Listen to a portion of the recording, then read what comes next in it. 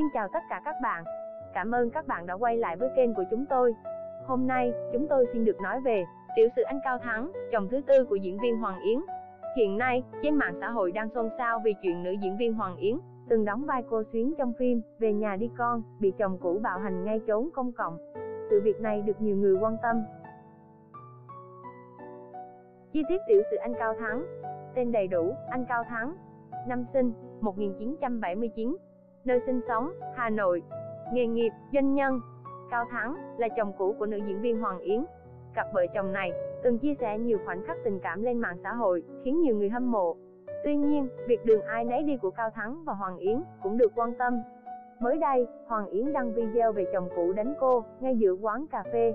Ngay lập tức, mọi thông tin của Cao Thắng được cư dân mạng lùng sục. Cuộc hôn nhân của Cao Thắng và Hoàng Yến được biết, Cao Thắng là fan dục của nữ diễn viên Hoàng Yến, còn cô thì chỉ biết anh là bạn của bạn mình. Trong lần đầu gặp mặt, anh lại thể hiện rõ mình là fan dục của Hoàng Yến khi có thể đọc thuộc nhiều câu thoại trong phim mà cô từng đóng.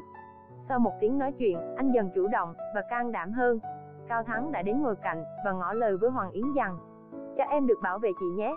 Anh thường xuyên tỏ tình trực tiếp, khiến cô cảm động không thôi. Cao Thắng cũng là người đàn ông đầu tiên, Hoàng Yến xưng hô vợ chồng. Năm 2016, cả hai chính thức kết hôn.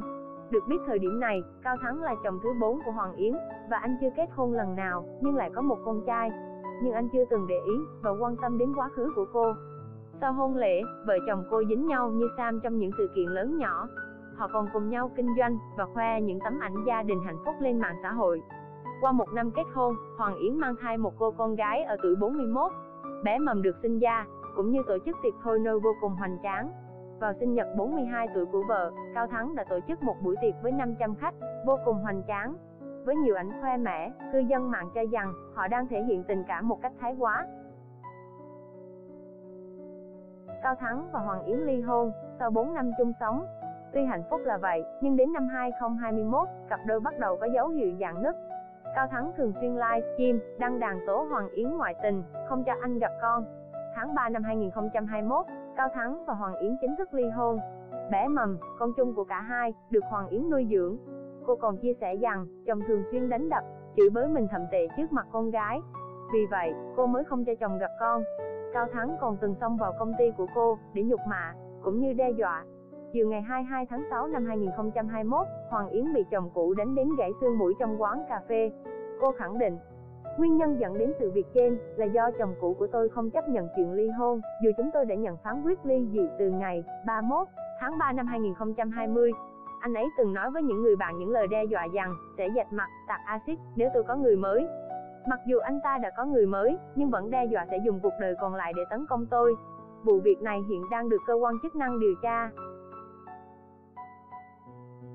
Sự nghiệp của Cao Thắng, chồng cũ Hoàng Yến Cao Thắng, không hoạt động trong ngành nghệ thuật, mà làm kinh doanh. Trên trang cá nhân của mình, anh thường xuyên chia sẻ hình ảnh ở những buổi tóc sau, với lượng người tham dự khá đông. Cao Thắng giới thiệu mình là diễn giả và sale của thương hiệu mỹ phẩm Hàn Quốc.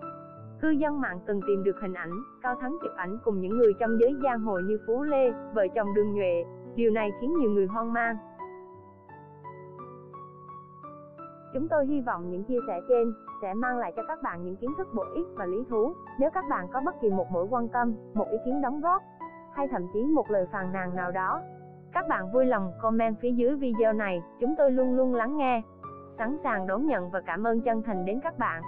Xin các bạn hãy giúp đỡ chúng tôi bằng cách nhấn vào nút đăng ký, like, share để kiến thức được lan tỏa. Cảm ơn chân thành đến tất cả các bạn.